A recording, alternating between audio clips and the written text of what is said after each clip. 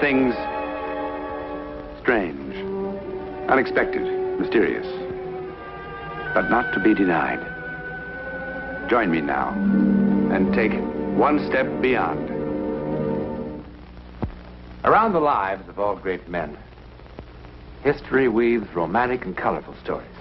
Many are based on fact, and some are pure imagination. There are many wonderful stories told about the man who, for one terrible and momentous winter, occupied this house. But none is so little known or awe-inspiring as the events that took place here one evening. Our very existence,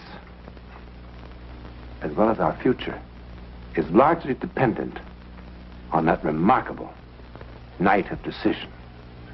Sure, sure, Gypsy. We'll all die sooner or later. But what about those supply wagons from Easton? Do they bring in good salt pork to fill our bellies? Yes. Fresh clothes to put on our backs?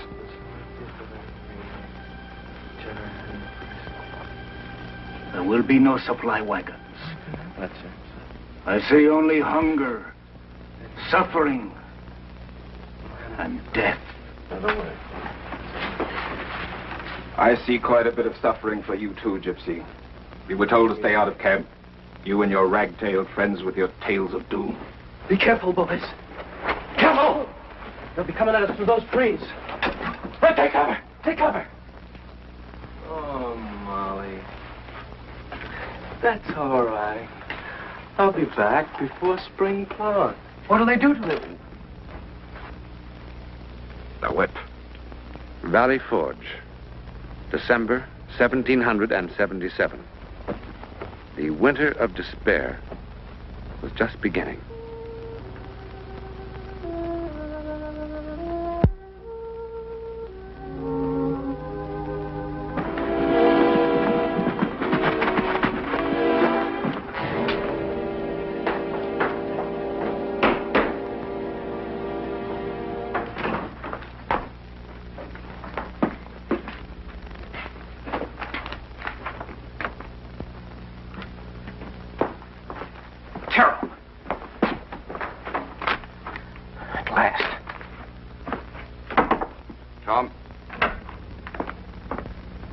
Courier just returned from Easton, sir.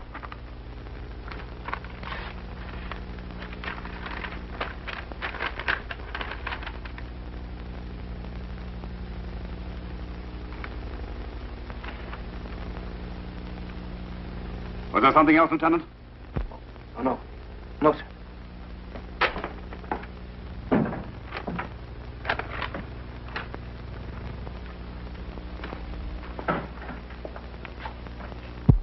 Hold! Do they expect us to go on fighting without food and supplies? That is precisely the point, Colonel. I believe those supply wagons were deliberately canceled. Supplies are ample, but a large element in the Continental Congress would like us to give up. This is a form of persuasion. Persuasion. The British are tired of this war, too.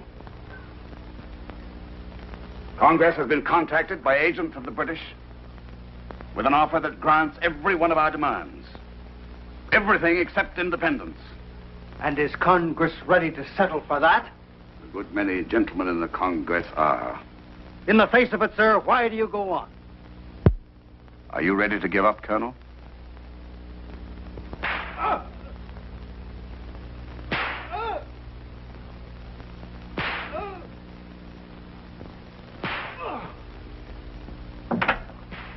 Stanley? What is that about? It's another one of those gypsies, sir. Fortune teller. This one told some of the men that the supply wagons will never arrive. By whose order is he being flogged? Major Warren, sir. The order is countermanded. Sir.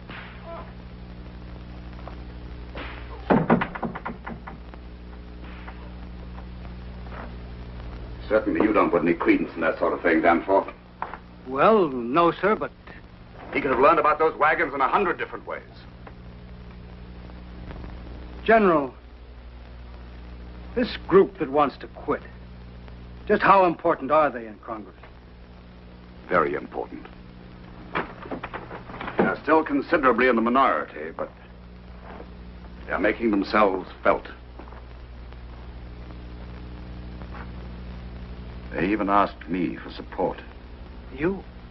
Well, you refused, of course. Oh, yes, yes, I refused. But I don't know that I had the right. Sir? There are 12,000 men here in rags, Colonel, and starving. Shouldn't they be consulted about any settlement? 500 of them die every month of disease and privation. There is little glory or satisfaction in that kind of death.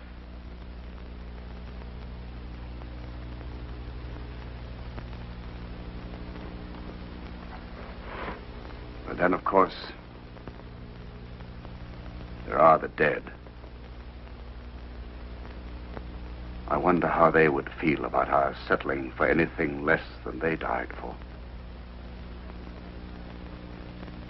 I don't know which side of the question you favor, sir. To be honest, Colonel, at this moment, I do not know myself.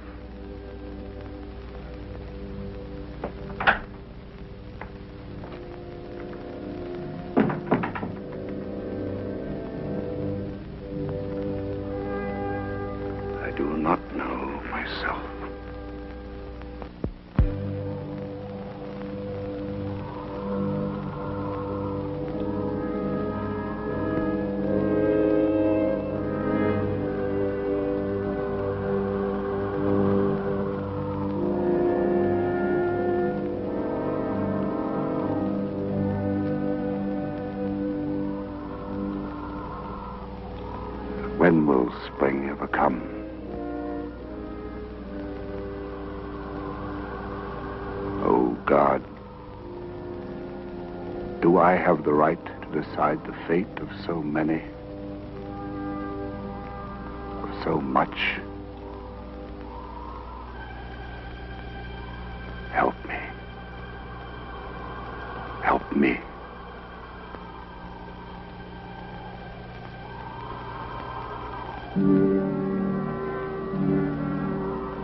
Your God has come to your aid before. Will again.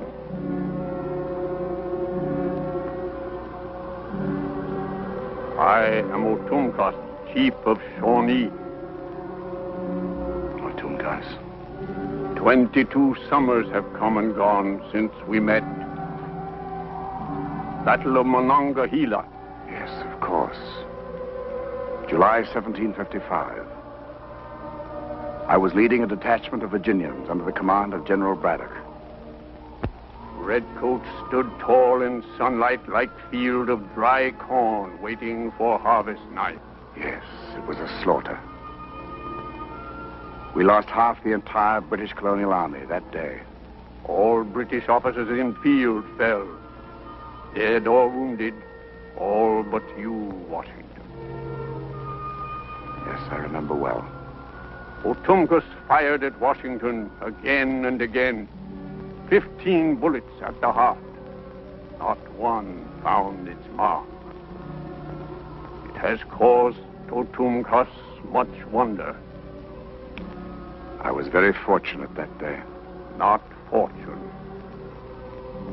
The Great Spirit protected Washington that day for good and great purpose. I wish I could believe that. Believe it.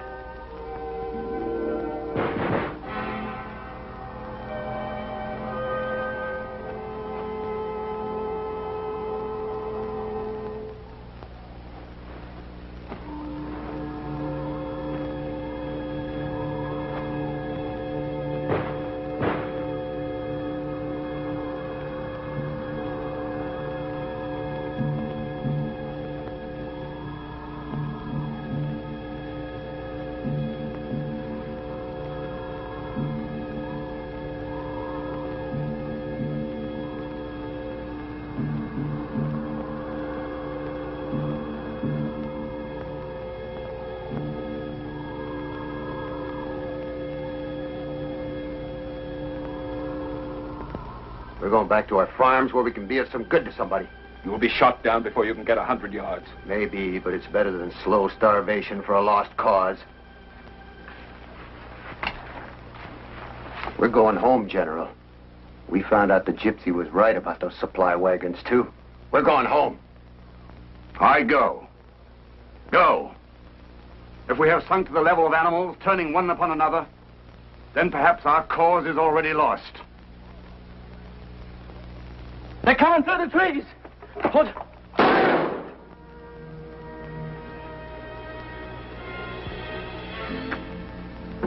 Papa, I meant to get to the chicken soon, only Jason hurt his knee up by the creek in the south pasture. I'll get to it sooner tomorrow.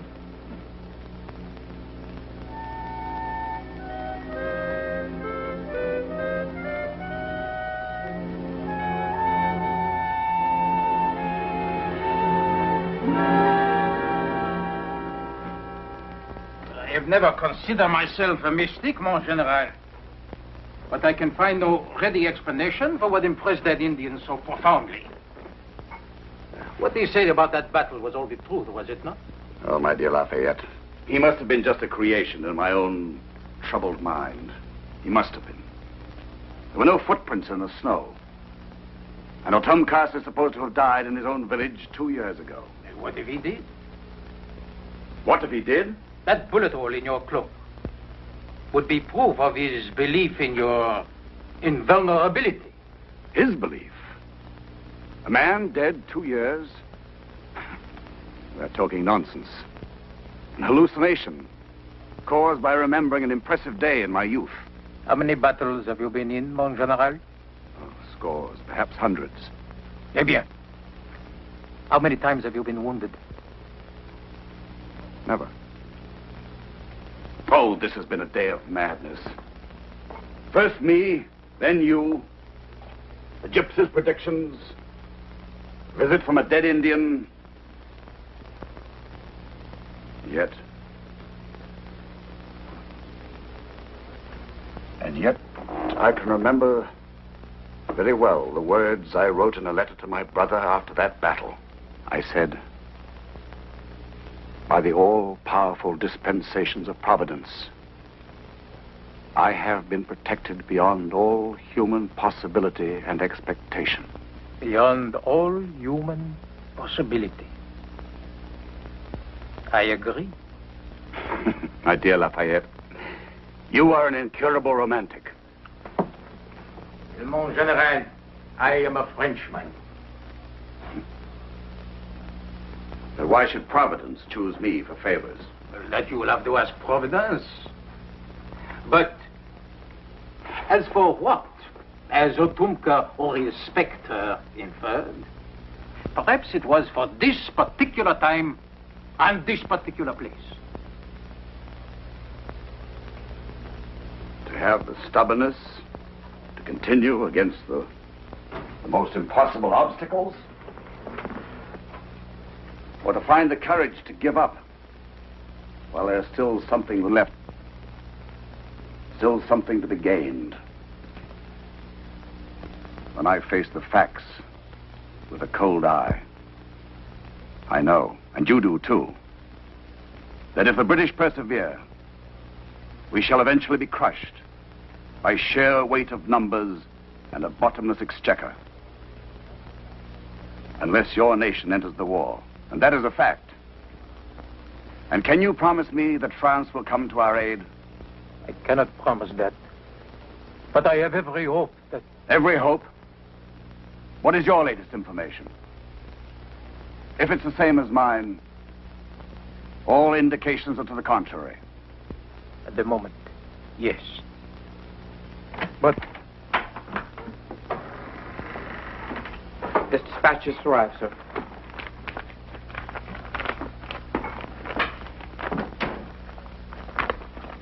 What is it, mon general? A short letter from Major Williams of General Gates's staff.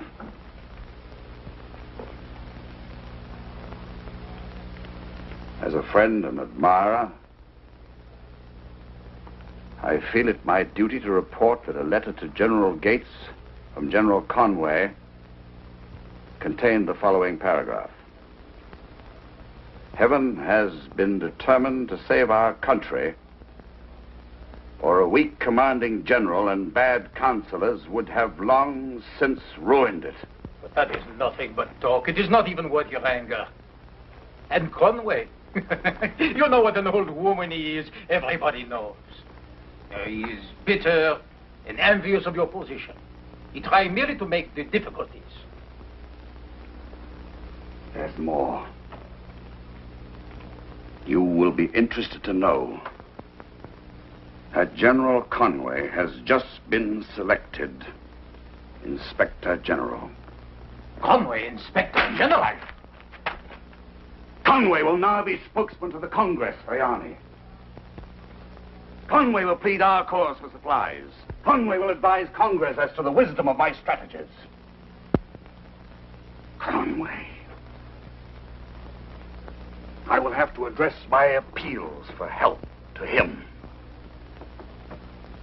They've made their message plain enough. I accept their wish for a stronger commanding general. No. General Washington, you are permitting your emotion to rule reason. You have become a symbol of the revolution. If you turn your back on it now, it will spell nothing but disaster. I am not responsible for the image others create of me. But you are responsible to your best self. General Washington, I, my friend, please do not act in haste and anger.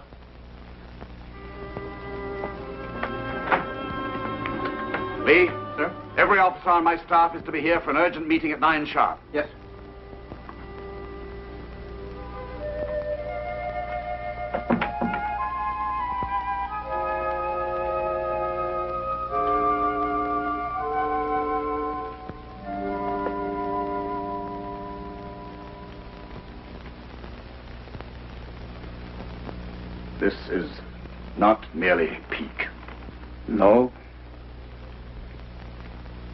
Think you are very tired.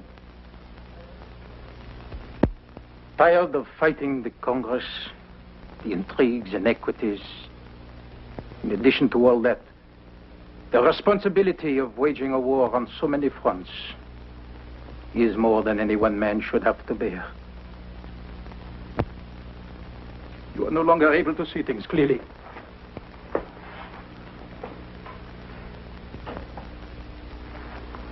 General Washington,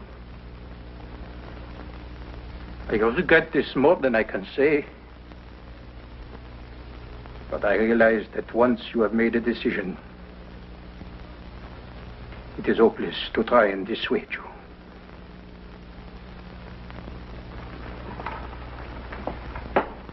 I trust my decision will not affect our personal feelings for one another. Nothing could do that. Monteran. General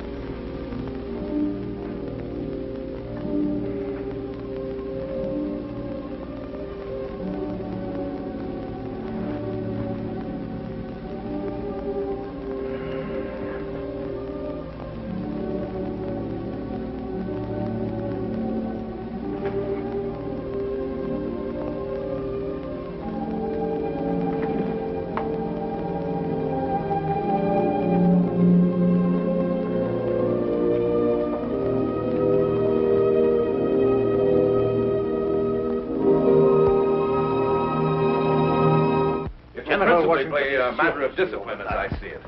Thousands of men wanted to desert weeks ago. Anyway, I can't say I blame the old fox for quitting. If I were the richest man in the colonies and had a beautiful farm where I could take Good evening, my... gentlemen.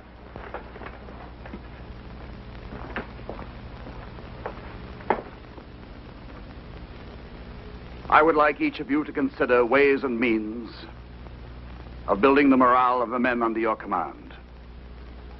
Projects to keep them busy. To achieve the highest level of preparation for our spring campaign. Spring campaign? But I thought. You thought what, Major? Well, I assumed that your plans were. uh, that is, I assumed that your mood was. Uh, pardon me, sir. But we are despairing of the future. If you know something, if you are free to tell us the basis of this sudden optimism, some news about the French, perhaps. News of a victory in the north. There is no news, Colonel, good or bad. We must make our own good news. But I can say, I am now confident that this war will end in our favor. And with complete victory. Victory? But surely, General. The meeting is adjourned, gentlemen.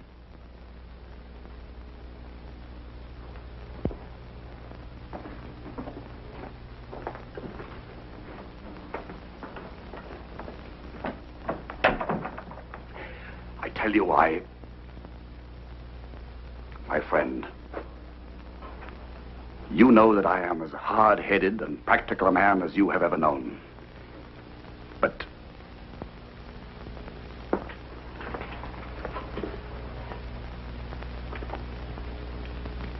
I was sitting here like this. I put back my head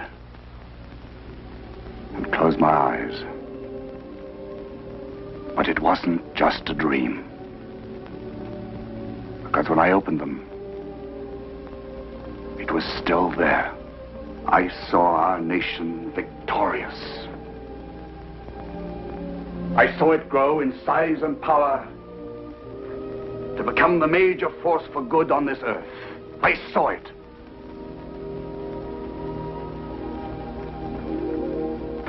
A dream. A vision. I know it will come to pass. In my heart, I know it. A dream? Vision? Whatever it was that George Washington experienced, it has today become all fact. You won't find anything about it in the ordinary history book, but it has appeared in print in a number of versions, a number of times during the past 150 years. All versions agree that Washington dreamed the revolution would be successful, and that the infant nation would grow until its boundaries stretched from Canada to Mexico, and from the Atlantic to the Pacific. And that there would be a bitter civil war between the northern and the southern states to be called the Union and the Confederacy. And that the Union would emerge victorious. He dreamed all this, supposedly, and more. But what is absolutely no dream are the facts of the Battle of the Monongahela. On this, all versions and all historians agree. There were three bullet holes through his hat. Two horses were shot from under him, and there was a bullet hole through here, through here, through here, and another one right through there. Hundreds of French and Indian rifles firing at almost point blank range throughout that long and dreadful afternoon. And nothing touched him. Nothing. Well, those are the facts. The incredible facts about the mystery of George Washington. Like Chief Otumkus, will always cause us much wonder.